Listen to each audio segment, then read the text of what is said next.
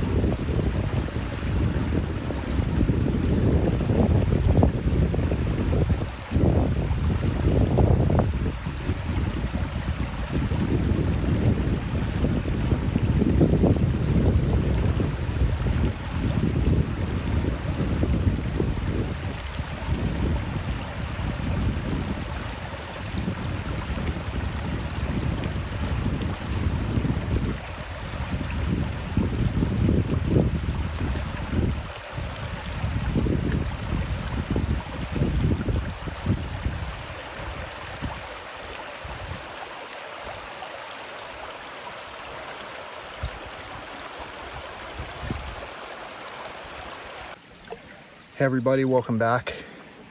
I'm out here at Guadalupe River State Park again, and I'm just enjoying some time cooling off in the refreshing river of recovery after having run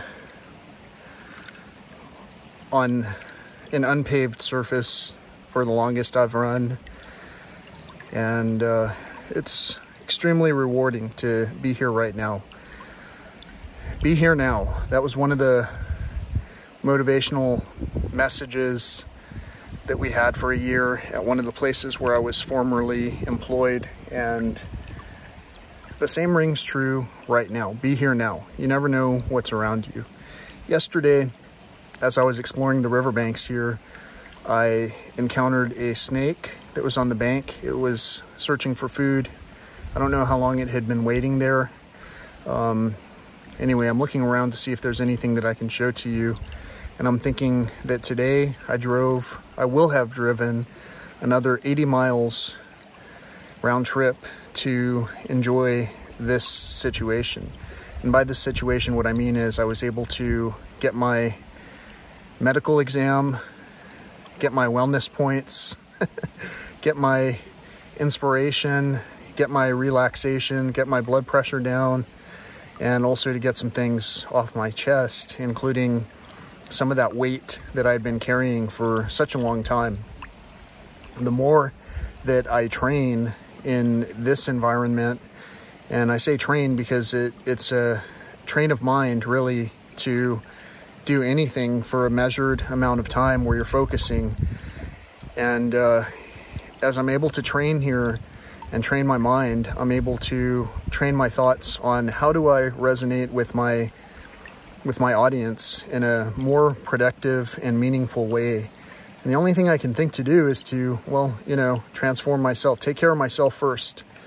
And that gets me to a topic that I was thinking about earlier, which was that some of us are not really complete stewards of the properties that we're at. We might pay other people to maintain the lawn.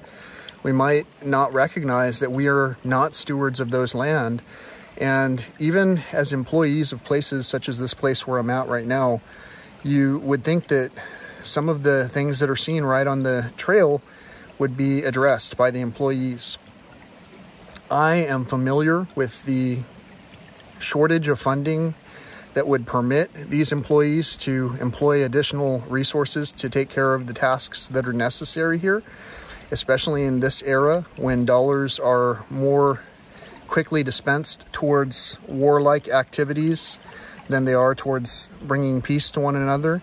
And when dollars are poured tirelessly into those people that would mail us brochures and uh, have all those meetings with all those coffee breaks as they came up with the design layout for those things that you were going to be paying to receive in exchange for the continued advertisement circuit.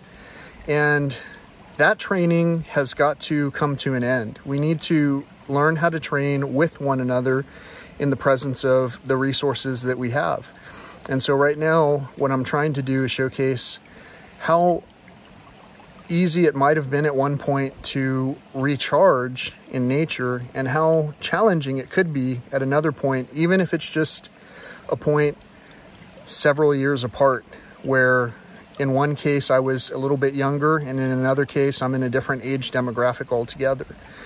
But as we start to look at age as something other than a number, we might recognize that even some of our own grandparents were able to do handstands and many other things. However, the nutritional concepts of what we have awareness of today were not at that point in time taught to us in general by our fathers. They were taught to us by what can we afford? And that poverty mindset is in a lot of cases what keeps us locked into those things that we can afford. But we need to recognize that paper wealth is not the same thing as actual health. If, for an example, I have a large property that I can't maintain, like let's say this state park, if I need to pick up all the rubbish on this land, well, whoever is raising this environment with me should have the ability to set aside some time to team up with me and take care of this land. In the same way, if I have a property of my own, a home, an apartment, um, whatever, a shared space, I'm going to keep my place in working order. In order to notice that it's not in order, sometimes someone else might have to call to attention that things are out of order. And if we do so gently, especially among friends, those people who we would invite into our private spaces to begin with, we would want to hope that our friends would not be introducing more debris and rubbish into the equation. And so in all of these cases, when I talk about wealth building, I do also talk about building the time that you have available for yourself because time compounds, it pays interests and dividends. For every second that I'm slowed down, having a conversation that goes in a circle, it slows me down fourfold because that second, that four seconds for each person adds up to minutes and then hours. And those accumulations of time make it so that my day, my day, starts out later and later. So if I'm needing to have time to consult with people, for an example, then I'm going to do my best to bring my time into focus so that I can also tend to my own self and, and have consultations with the parts of my mind that whisper these things like there's so much trash. There's so much trash on the trails. How are we going to get it taken care of? And those solutions that are presented oftentimes will come in complex simple solutions that are like well, we just need to team up with one another, learn how to sing a new tune, and get to work because there's a lot of work that needs to be done. So at the park entrance here, they hand out river trash bags, and I'm going to at some point incorporate that information into a segment here so that we can know, well, are those trash bags made out of repurposed materials? How can we incentivize this? You know, can we give out discounts on Texas Park passes if people fill up these bags and bring them back? And, uh, and maybe even identify some of the top culprits on paper if we educate ourselves with what it is that we continue to see ourselves around here, like let's say plastic bottle caps, then we might want to oversimplify and recognize that plastic bottle caps, which are also listed as a choking hazard, are not something we want to leave all over our dwelling, especially if we are a young parent or a parent of a young person, however we might word that. All in all, that's just one concept of stewardship and what it means to tend to what is around us and what it means to be able to think that calmly in order to tend to ourselves so that we can have that type of logic of thoughtfulness to begin with. So as I'm sitting here in the water, I'm reintroducing some caloric intake that I had not had before.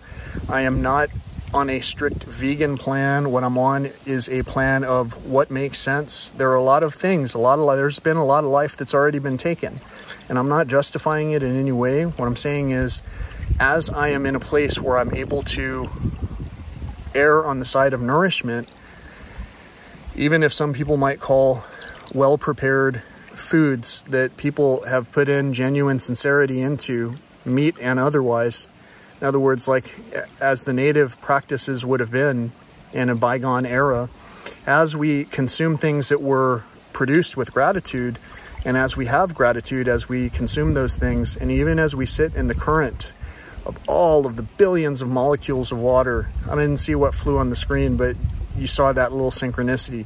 Billions of molecules of energy in the water, it can help me to absorb the positive current. So one of the things I like to do is not wet my shirt any further than it is. Right now my shirt was entirely sweat stained. It's sitting in the sun right now. And part of the simplicity for me as a guy is I can do that. Uh, if you're a girl and you have your sports top on or whatever, you can, you know, take a dip in the river, do the same thing. Uh, if you're in a place that doesn't care what the rules are or if the distances are far and great between, uh, you need to make decisions on your own as to what's reasonable within the guidelines of what's happening around you. Read the room, so to speak. If somebody is talking with you in a way where they're trying to say, hey, I don't have time for that stuff because all of these things that are happening are jeopardizing all of our ways of life and livelihood as we know it. If I say something like that and I'm genuinely shocked that we need to have started doing something and we're having trouble doing it, if I'm shocked about that and I'm at the peak of my health and essentially the peak of my wealth, then many people should be able to hear the very valuable message that's being passed along and do something with it. However you reinvest this energy and this information is up to you. Uh, I probably will have a couple of more thoughts to interject here and there, but for right now, I'm going to get on to just enjoying this soak. I'll uh, put this compilation together before the evening tonight and let you know how things went. But uh, I have been running for maybe, I don't know, two weeks. And this weekend will be my, I guess, my second attempt at the Couch to 5K program but my attempt will be a little bit beyond what the couch to 4K chart was giving because I've been kind of running at a natural pace a little bit further than the one minute and then the one and a half intervals, one and a half minute intervals that they were uh, recommending. And I already cranked out my first continuous mile of running and that felt good. So like I said, I'm, I'm recovering in a way where I know that if you had the opportunity to talk with your doctor and see the type of program that I'd put in, how it was 100% natural and how I didn't need to have uh, any kind of anti-inflammatories or any kind of uh, anti-statins or any of those type of medications that that basically are also coming with so many side effects, not to mention the plastic bottles they come in. If you could see all of this, and if people could understand that profit should not be the motivating factor, I believe we would come to a conclusion that would lead us to believe there should be a lot less plastic lids floating about in these rivers of life and restoration. So I hope you uh, agree. And if you do, please don't, for, or don't, whatever, please don't forget to click on the corresponding thumbs up or thumbs down and enter why you agree or disagree into the comments in the comments field below. Thanks so much for reading the description now and then. And mostly thanks for revisiting some of the content we're talking about so that we can find ways to share the good news. Until next time, peace, love, and all that old school stuff.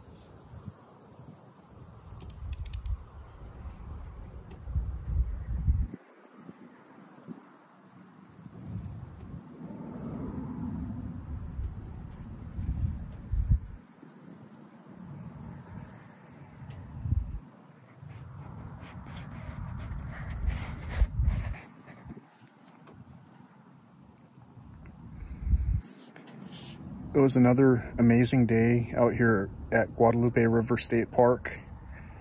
I got to see a very young soft, soft shell turtle of some sort. It wasn't a red-eared slider. It was a turtle that appeared to have kind of a more leathery than plate-like shell. Again, that was just the appearance. I really don't know what I was looking at. I'll have to look it up online. I'll probably have already put up a little pop-up that showed what kind of turtle it was. Whatever the case, that was really cool. There were so many cool things that happened today, just like every day that I'm out in this area. Right now, I've got the last remaining bits of shade. If you can see, got the hatch open to throw some shade on myself. As if I didn't need any more. In some cases, the shade comes in handy. In some cases, what was supposed to remain hidden will remain hidden until the point when it was supposed to be revealed. In some cases, it might be far too challenging to think in terms of global climate challenges when we have such difficulties maintaining our own personal climate. The only way to maintain our own climate is to relate this situation again to stewardship.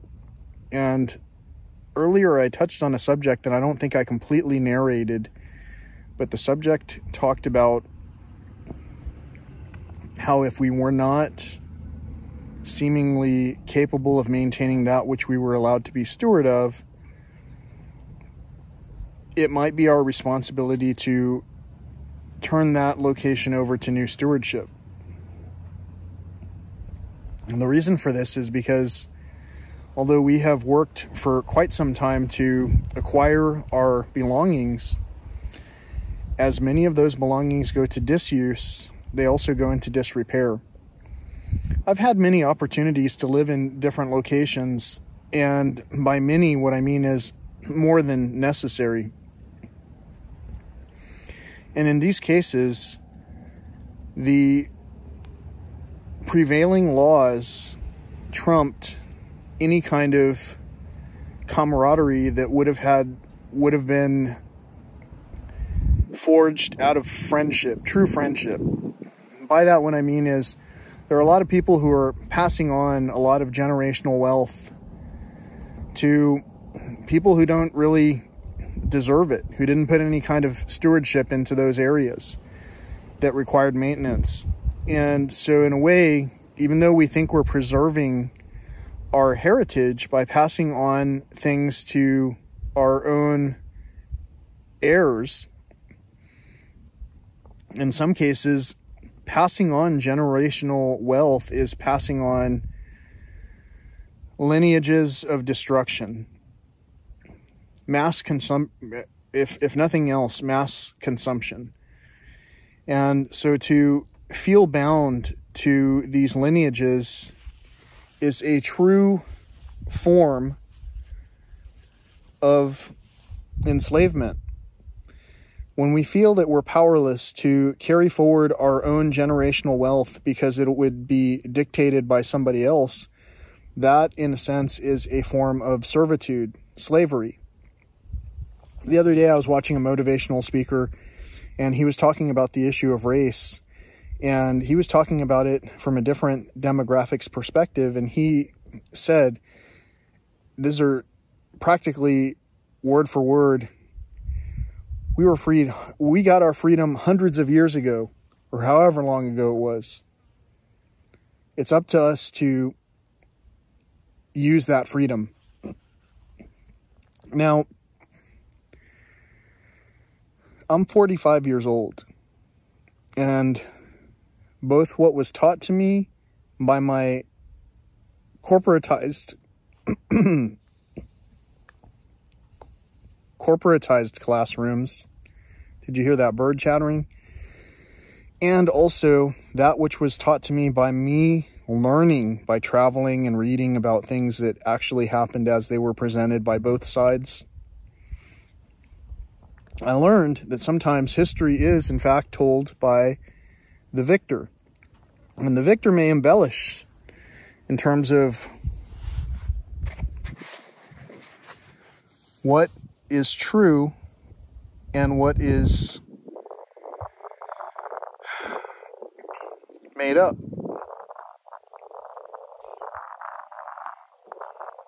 So, truth from fiction sometimes is more difficult to understand without examples. And the truth is that many of us are struggling to maintain that which has consumed our time.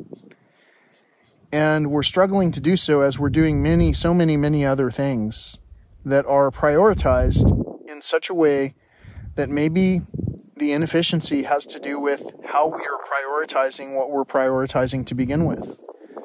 So today I talked about healthcare, wellness, conservation, wildlife. And I did that from a place where I was able to enjoy all of those same very elements in the presence of those who would be enjoying time doing the same thing.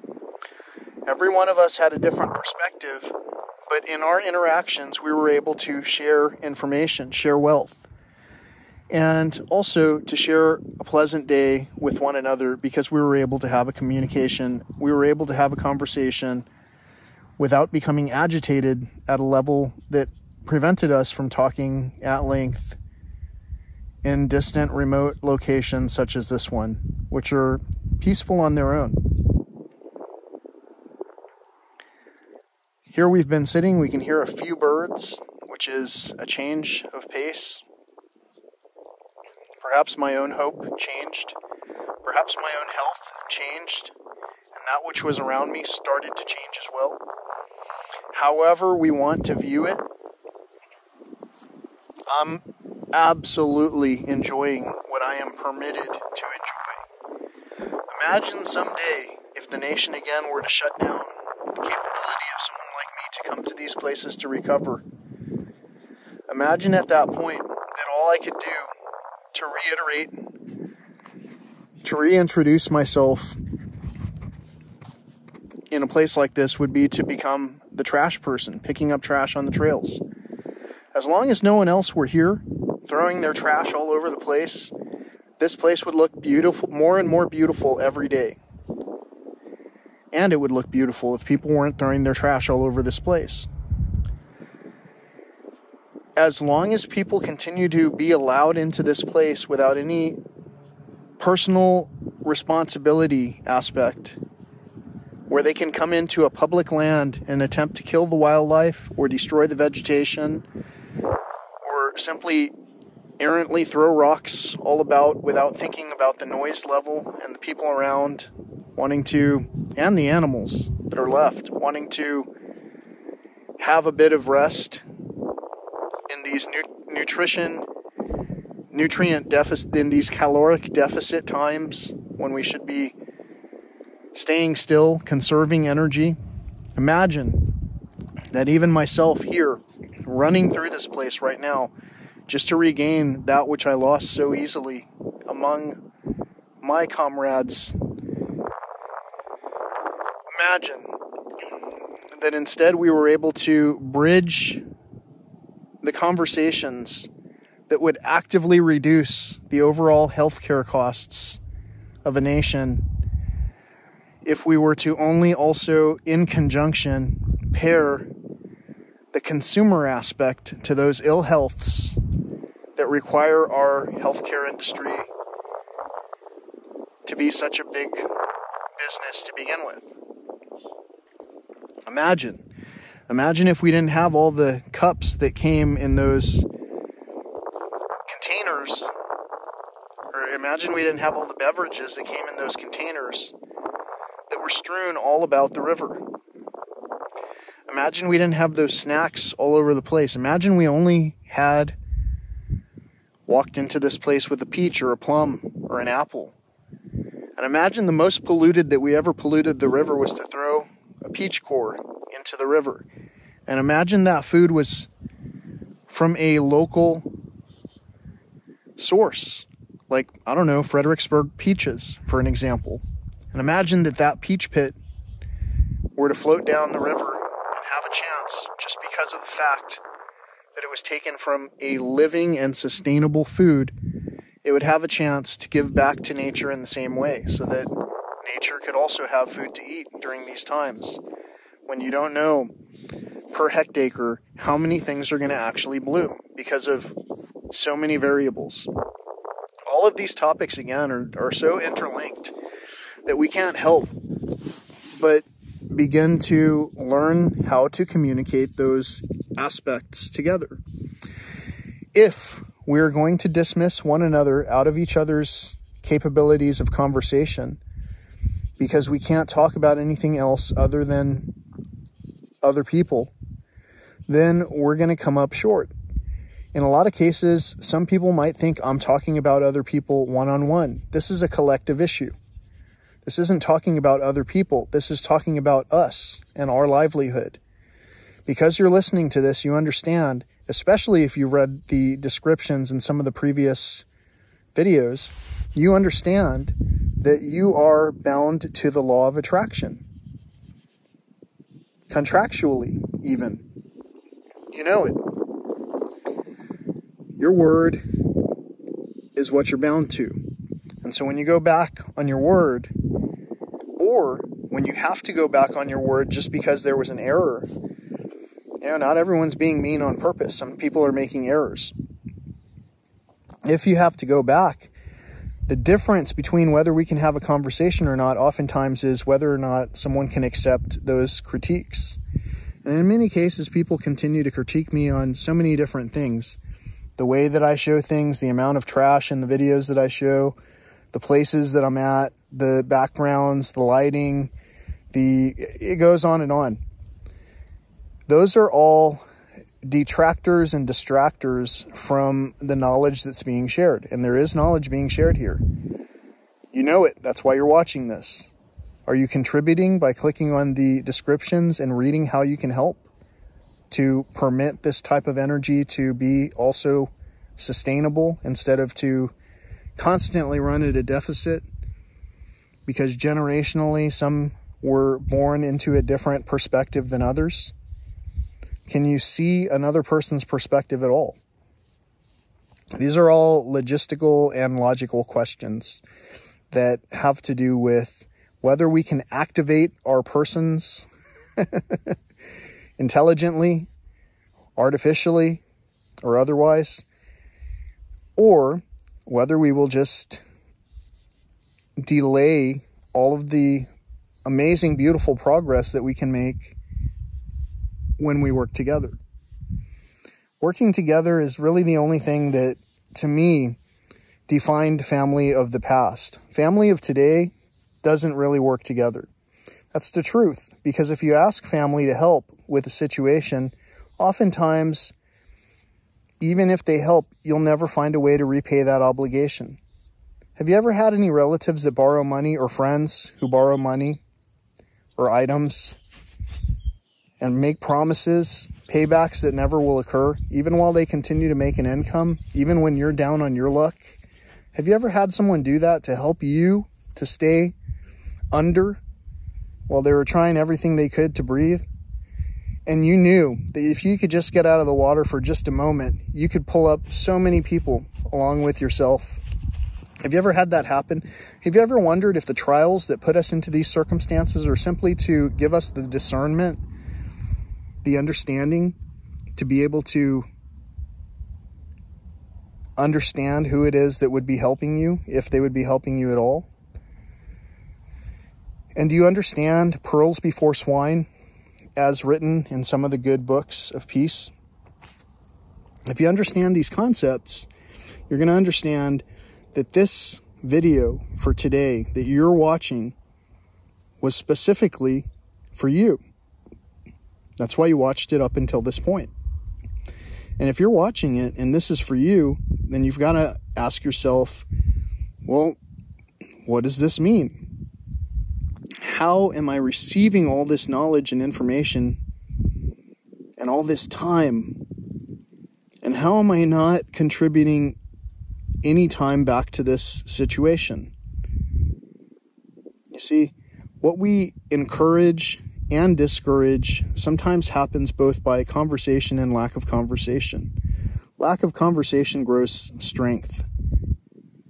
And when someone's coming at it from a point of ego where they simply cannot discuss things because they can't get to the next level of conversation, that creates the opposite of strength weakness, brittle,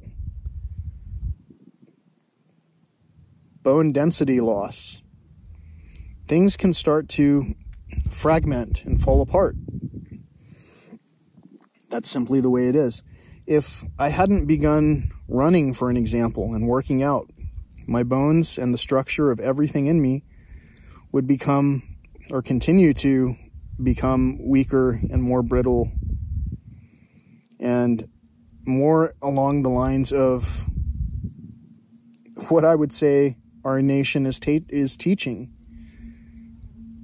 and allowing us to aspire towards, wealthy or otherwise. The healthcare profession seems to be the number one sham when it comes to regaining our health. The healthcare profession, I don't mean to discredit any of it. What I mean is, it is a secondary after the fact measure that sometimes can be used in conjunction with lifestyle change, exercise, diet, nutrition, all of the above. But none of that will ever impact your surroundings and who you surround yourself with until you start speaking your truth. As you speak your truth and as you receive your truth, you learn that your time is valuable. And because your time is valuable, you'll start to figure out if I value this other person, I'm going to try to incorporate my time into their life as well. How could I possibly do that? Is there a work industry where we can do something like that? How do I get this person on my team? So as we think about these things and how quick we are to dismiss and cover up the credits of people who have done the real work, Let's also understand that some of the things that I've showcased on this channel, which is called YouTube, have to do absolutely with me. And just like many other people are out there telling their own stories, there are people who can get triggered when someone talks about something as if they don't know what they're talking about. There was a person when I was on social media who posted a picture of someone or a video of someone who was going through some type of withdrawals or hallucinations. And they didn't quite recognize that this person seemed to be having some kind of a mental situation. More like a methamphetamines type experience would cause. And I said on that post, because it was in public, hey, that's a little close to home. And that person got upset that I said that. They said that's not, it has any, nothing to do with with um, anything other than the scene it was. And they were upset, even though I wasn't even upset. I was just saying, hey, that hits close to home. Almost with a humility. When I say something with humility, I keep receiving hostility in return. I try to tell you how I feel and your results, and your response to me is unreal. And do you hear me? Anyway, there's a song I wrote.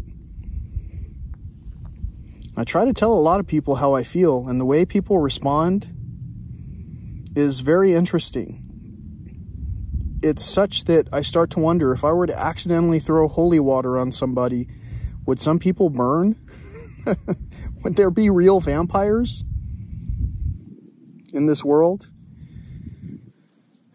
Even if symbolically and systematically we refuse the gestures of goodwill, like waving towards one another, saying, hey, How's it going? Even if systematically we are programmed to not receive or reciprocate energy of positivity, we can learn differently if we decide to try differently.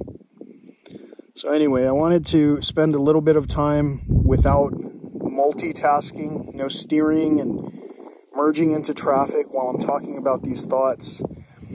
But the primary reason, again, that I started to say all these things is that when we are stewards of the land that we are in and we can no longer maintain them, the help that we're paying, the work that we're paying for, the jobs that we are incentivizing in order to facilitate that infrastructure, we may be achieving that at such a cutthroat rate that we're cutting the throats of our own children and grandchildren along the way. Never once recognizing that the knife was in our hands to begin with, and it was just our grimace of anger that prevented us from looking in the mirror for long enough to see that some people are irresponsible and angry, and actions always speak louder than words. So, when you decide to take action, take action on behalf of yourself by fortifying yourself with words of positivity, whatever they might be to you. If you're trying to overcome addiction, get with the program. If you're trying to cover, to overcome being mean to people, check yourself. If you're trying to get past prescription addictions, try to do the things that would qualify as lifestyle changes. These are just basic thoughts from a basic friendship that you can nourish and nurture in whatever way you decide to. As I strengthen myself against all odds, just like we all will have to be doing, I can only recognize that perhaps I have said something that had touched a nerve in you. And that you feel an insecurity this wind is picking up. It's carrying these words I'm saying with a speed that will whisper the same words into your ears, whether you heard this video or not. I hope that you're having an amazing day. I know that I am. I have completed the painted bunting trail again. I soaked in the river. Enjoyed the scenery. Saw some new wildlife the hope that I'm experiencing is just enough for me to want to persevere. it's a gratitude with a humility that knows, hey, we have to clean up these trails together. I have to stop pointing out someone else needs to clean it up.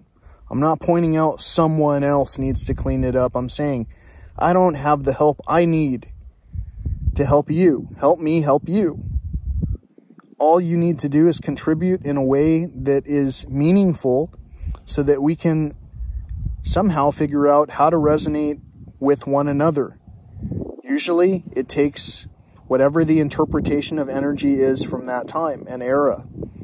In this particular case, in God we trust in this nation according to our very own currency.